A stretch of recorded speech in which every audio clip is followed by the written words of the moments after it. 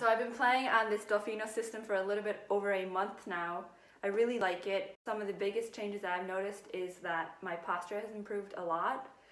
Uh, with this specific chin rest model, it, uh, it lets my violin stay up high and flat, especially over longer periods of time when I'm playing.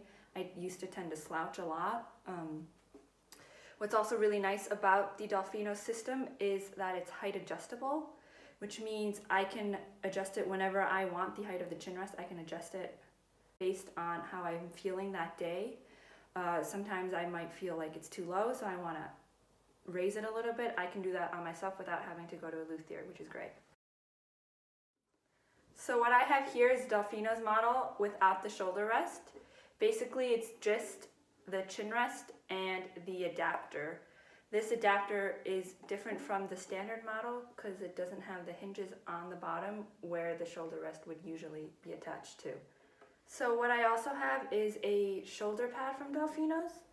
This sticks nicely to the violin without damaging the varnish and also helps my violin not slip off my shoulder when I play, which is really nice. Another great thing about this is that I used to get really bad allergies from my old chin rest and with this one, um, I haven't had anything um, on my neck, especially I just got back from the Verbier Festival. I'm playing six hours a day.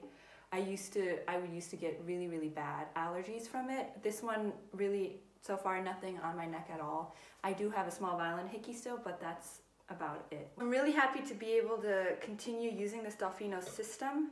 It's helped me a lot. I've noticed a lot of improvements in my in my posture and my sound. What's also really nice about Dolfinos is that they have many different types of chin rests. So you can kind of see what fits your body best, what's comfortable for you when you're playing. Uh, also the chin rests, they have different materials. So some are made of wood and some are like this one for sensitive skins like me, which is great. I'm very happy to have been one of the first to test out the Dolfino system. It's, I've really enjoyed playing with it and it's helped me a lot. I've noticed a lot of benefits. Um, regardless whether you're a violinist or a violist playing with or even without a shoulder rest, I would really recommend it. And I hope that it benefits them just as much as that has benefited me.